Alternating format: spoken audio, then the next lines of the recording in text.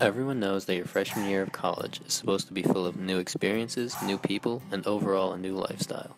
However, those terms don't do justice for the time the NUin program has afforded my classmates and I studying abroad for our first semester of college.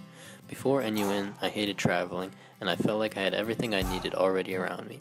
But NUin has since opened my eyes to travel and made me realize and appreciate other cultures and places that you can never truly appreciate until you see and experience them for yourself.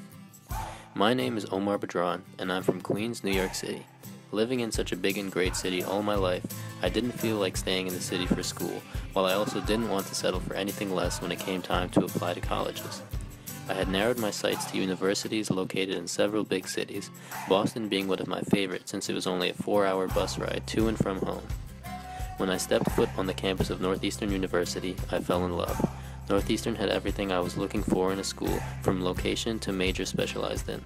Now, all I had to do was apply and hope to be accepted. And I was, kinda. My acceptance letter came telling me I was accepted into the NUin Study Abroad program, where freshmen travel to one of five countries around the world and spend their first semester abroad upon returning to attend Northeastern in Boston in the spring. When I received my letter telling me I had been accepted to Northeastern, I was ecstatic.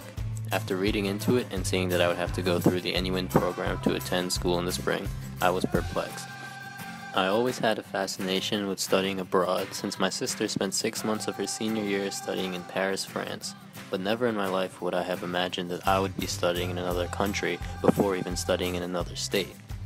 My parents were very supportive and told me that I should take the opportunity by the horns. So, I packed my bags and on August 31st boarded an Aer Lingus flight from LaGuardia Airport and landed at the Dublin airport. I spent the flight wondering what the semester would hold for me, but little did I know it would afford me experiences and friendships that will last me a lifetime. Living in Dublin has been an adjustment as my classmates and I were forced to be extremely independent when a lot of us never had to be before. Things like laundry, cooking meals, and cleaning were all left up to us, all while still getting a college education at Dublin Business School.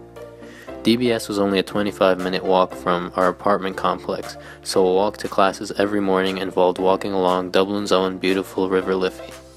Although Dublin wasn't quite New York City, I still learned to appreciate the capital of Ireland. With my walk to DBS every morning and my service learning every Wednesday, I was able to see more of the city by also learning and riding the Luas, Dublin's light rail that runs through the whole city.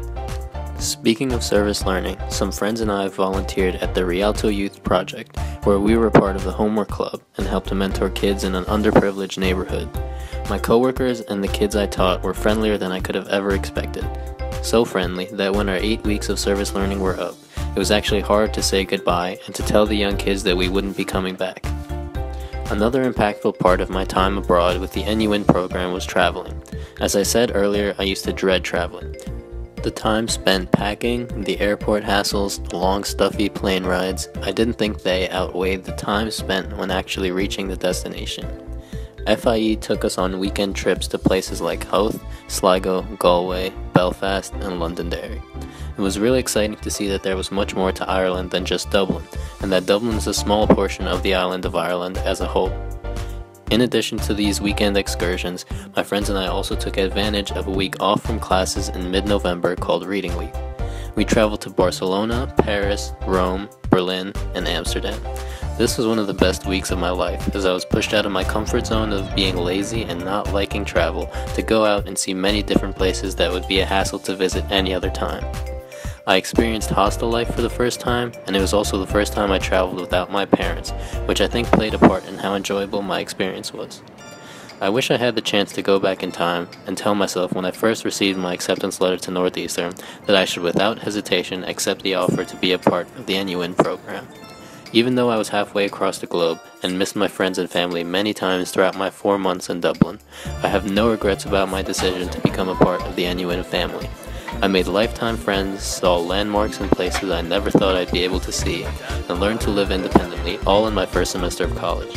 How many people can say that?